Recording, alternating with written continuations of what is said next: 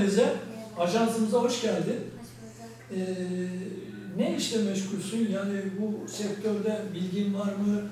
İlk defa mı geliyorsun? Daha önceden e, çalışmaların oldu mu? Evet oldu. Oldu, tecrüben var. Evet var. E, biz de şimdi işte sinema, dizi, reklam, klip çekimleri üzerine kurulmuş bir ajans burası. E, seni de bünyemize katmaktan seviniriz. Ben de sizin ofiste çalışmaya sevindim. Teşekkür ederiz. Ederim. Hayırlı uğurlu olsun.